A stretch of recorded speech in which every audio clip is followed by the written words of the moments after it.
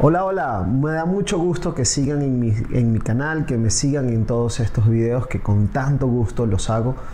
para traerles cada vez nueva información, información de la cirugía maxilofacial, que es algo poco conocido y que queremos que llegue a cada vez a más personas. Eh, no, no olviden seguirme en mis redes, activar la campanita y seguir recibiendo todas las notificaciones de los nuevos videos que vamos a estar haciendo. El día de hoy quiero comentarles de una de las cirugías que más me apasiona, que es la cirugía ortofacial o cirugía ortognática.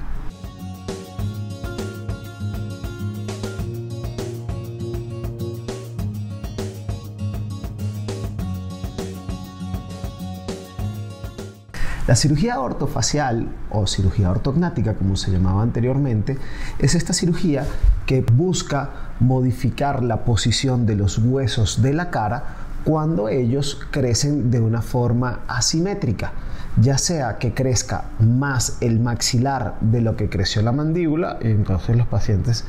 no tienen una adecuada proyección de la mandíbula, o bien la mandíbula crece de más y crece mucho más que el maxilar. Y hay otros tipos de, discrepancias que son hacia los lados. Puede que la cara crezca más hacia un lado que hacia el otro y genere una asimetría facial. Todo esto es reparable o es tratable por medio de este tipo de cirugías como les llamo ortofacial. Pero lo más interesante de todo esto es que este tipo de cirugía no debe ser encajonada solamente a aquellas personas que necesitan aquellos cambios tan drásticos como estamos viendo en este momento, sino que podemos estar usándolo para pacientes que no necesitan un gran cambio, que necesitan cosas pequeñitas como vemos acá, porque lo que vamos a necesitar muchas veces es abrir las vías aéreas, tener una mejor respiración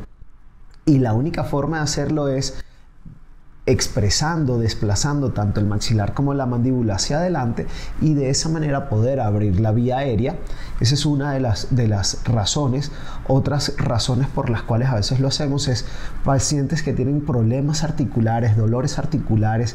y que no han podido a pesar de ortodoncias y algunos tratamientos, resolverlos muchas veces con este tipo de tratamientos los podemos resolver. Aquellos pacientes que llevan una, dos, tres ortodoncias y sus dientes se devuelven y vuelven a abrirse o vuelven a, a moverse, son pacientes que muy probablemente requieran de una cirugía ortognática. También hay pacientes que simplemente la forma de la cara hizo que el crecimiento generara una discrepancia en la angulación de este plano, de este ángulo de nuestros dientes y eso haga que la función no sea correcta y que no sea tan longeva la función articular de nuestros dientes para ese tipo de pacientes nos va a servir muy bien también este tipo de cirugías. Y finalmente, hoy en día estamos modificando la forma de envejecimiento.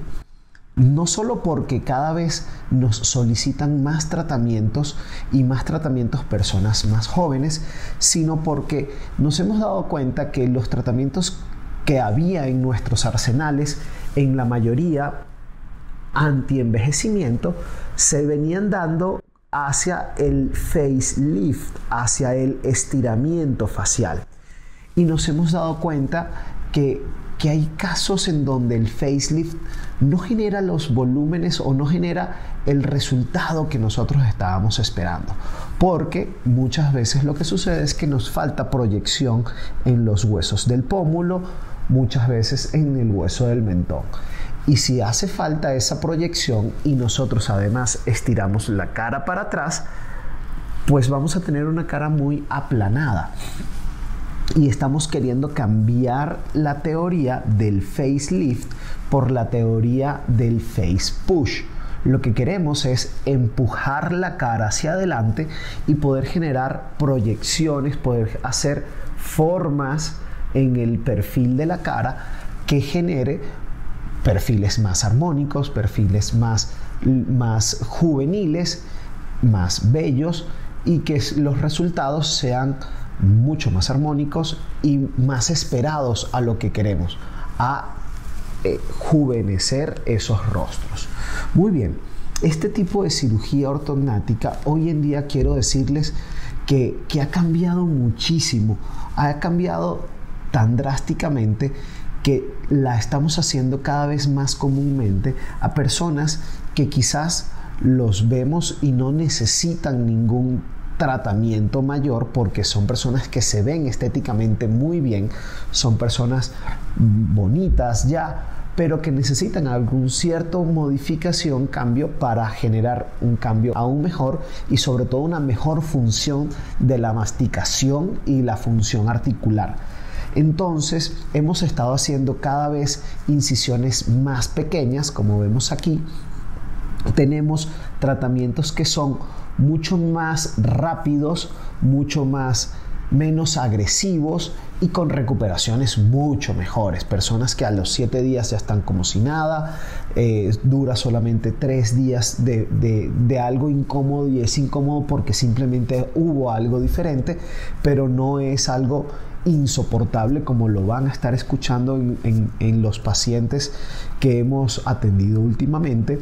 y van a ver la diferencia entre el tipo de abordaje, el tipo de, de, corte, de incisión que hacíamos antes y el tipo de corte que hacemos hoy en día. Es un mundo de diferencia, hay mucho menos sangrado, hay mucho menos inflamación y, y simplemente es como hacer un tratamiento de sacar muelas del juicio. Es menos inflamación y menos agresivo que sacar muelas del juicio, porque cada vez somos más delicados con esto. A pesar de que lo que vamos a hacer comúnmente es un tipo de osteotomía en el maxilar que corre por, el, por debajo de la nariz para poder desplazar y mover este hueso y ponerlo en la forma en que se necesita y de igual manera en la mandíbula hacer ciertos cortes parecidos a estos en donde podemos desplazar hacer la mandíbula más larga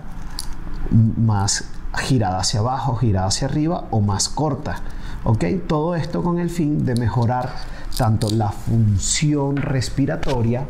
la función articular la función de nuestros dientes y la estética facial, siempre mejorándola. Espero les sirvan de mucho todos estos videos, sean de su agrado y me sigan en mis redes, en mi canal, denle a la campanita para poder tener nuevos accesos, más accesos a nuevos videos.